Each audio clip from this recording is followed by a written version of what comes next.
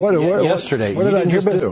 All right, yesterday the State Department added the 11th commandment to that list of uh, of 10 uh, uh, items that Definitions they for had. anti-Semitism. One of the new one they added yesterday said you cannot compare Israel to Nazi Germany. Okay. Nazi-like activity. Not Nazi-like activities. Yes, excuse me. All right. Uh, Mike Pompeo, everybody at State Department, listen up. The Israeli Zionists act like Nazis. Come and get me. Okay, I'm here. Come and get me. They act like Nazis.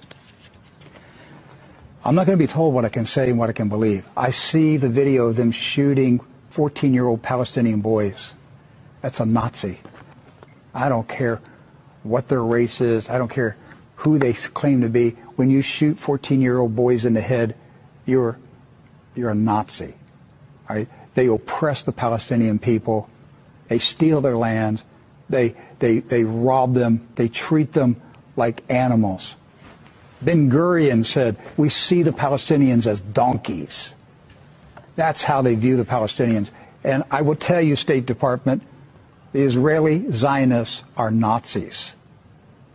That's my belief, and I have a right as an American citizen to express my views. And I can denounce tyranny any place in the world if I want to. I'm a free American, and nobody can tell me to shut up. The only way you're going to make me shut up is to kill me.